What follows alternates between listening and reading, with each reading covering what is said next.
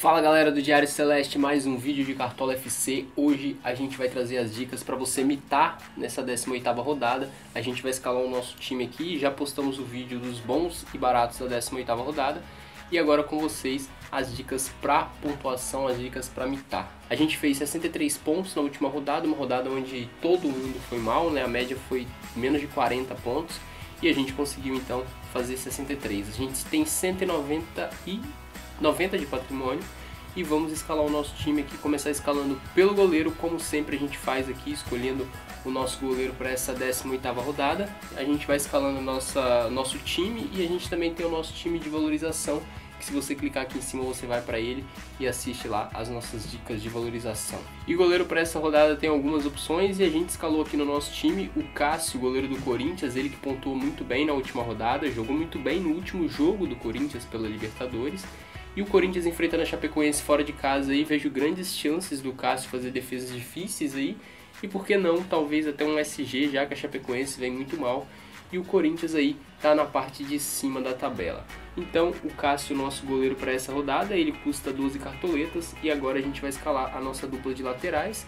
O primeiro lateral aqui é do líder do campeonato, a gente vai escalar aqui o Reinaldo. Ele vai estar tá no nosso time, ele que custa 11.29 cartoletas, tem a média de 5.79 ele enfrenta o esporte jogando na Ilha do Retiro. Ele tem dois gols, uma assistência e 21 roubadas de bola. O Reinaldo vai estar no nosso time e junto com o Reinaldo a gente vai escalar um outro lateral que está um pouquinho mais caro que ele, o Bruno Cortez, jogando no Grêmio, enfrenta o Vitória, tem a média de 6.46. Bruno Cortez tem 27 roubadas de bola, ainda não deu assistência para gol e ainda nem marcou gol. Então, essa é a nossa dupla de laterais a gente escala agora a nossa dupla de zaga, que tem o primeiro jogador, o Igor Rabelo, Botafogo enfrentando aí o Paraná. Botafogo tendo aí treinador novo, né, o Zé Ricardo. O Igor Rabelo, um dos grandes zagueiros aí do campeonato, fazendo boas atuações. E óbvio que contra o Paraná a gente tem que apostar na vitória do Botafogo, porque se não ganhar do Paraná a situação complica, né? O outro zagueiro é um zagueiro que não vinha jogando muito, né? É o zagueiro Luan do Palmeiras. Ele não vinha jogando muito, agora com a chegada do Filipão aí, o Palmeiras dividindo as atenções em várias competições. E o Luan vai jogar essa partida contra o Vasco, seu ex-clube.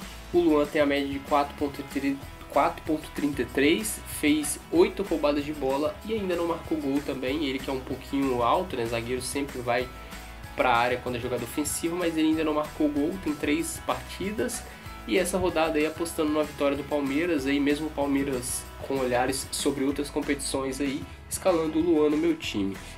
Agora no meio de campo a gente escala aqui o primeiro jogador, o Lucas Paquetá do Flamengo. Ele não jogou pela Libertadores, deve jogar esse final de semana pelo Flamengo contra o Cruzeiro.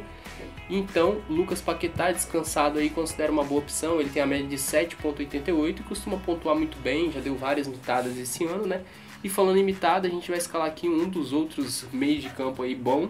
Zé Rafael com a média de 7.57. O Bahia enfrentou o América a gente vai escalar o Zé Rafael. Ele tem dois gols, uma assistência e saiu a notícia de que ele já foi vendido para o Palmeiras, né? Só que só vai para o Palmeiras na temporada que vem. Então, vamos Zé Rafael, porque também considero o Bahia favorito diante do América, mesmo o Bahia estando bem abaixo do América. Acho que o Bahia tem time para dar uma melhorada aí. O outro meio de campo, a gente vai escalar o meio de campo Everton do São Paulo. São Paulo, como a gente já disse, enfrenta o esporte. Considero o São Paulo um dos grandes favoritos para essa rodada. O esporte vem numa sequência muito ruim. Então, com 5 gols, 5 assistências aí na temporada, Everton vem fazendo uma belíssima temporada e aposto nele para essa rodada do Cartola FC. E no ataque, a gente vai escalar o artilheiro aí, o Pedro, né, o garoto que vem mitando no Cartola FC, vem mitando no Fluminense, ele vai estar no nosso time. E outro que mitou é o Marinho, o Marinho também vai estar no nosso time, pontuou muito bem na última rodada diante do Flamengo, vai estar no nosso time, ele tem a média de 5.24 e o Grêmio pega o Vitória, considera o Grêmio favorito, e o Marinho aí se destacando nesse time alternativo do Grêmio, né? O nosso outro atacante é o atacante do Botafogo, Chiesa. Como eu disse, considero o Botafogo um dos grandes favoritos para essa rodada. Fiquei na dúvida entre escalar o Chiesa ou o Gilberto do Bahia, mas optei pelo Chiesa aí porque considero o adversário do Botafogo um pouco mais fraco do que o adversário do Bahia, que é o América. Então, é, Chiesa já tem 5 gols nesse campeonato, uma assistência e 20 finalizações para gol. Então, Chiesa vai ser o nosso último atacante Agora a gente tem que escolher o treinador aqui. Treinador para essa rodada, vou do estreante Zé Ricardo, ele que estreia pelo Botafogo, né? É, o Botafogo jogando contra o Paraná aí, como eu já disse, um grande favorito para essa rodada. Então o Zé Ricardo será o nosso treinador. E o capitão desse time vai ser o Zé Rafael. A gente escolhe aqui o meio-campo do Bahia. Vamos confirmar e ver como ficou o nosso time para essa 18ª rodada que tem no gol Cássio, nas laterais Reinaldo e Bruno Cortez, na dupla de zaga Luan e Igor Rabelo, no meio de campo Zé Rafael, Lucas Paquetá e o Everton do São Paulo. No ataque tem Pedro Quias e Marinho.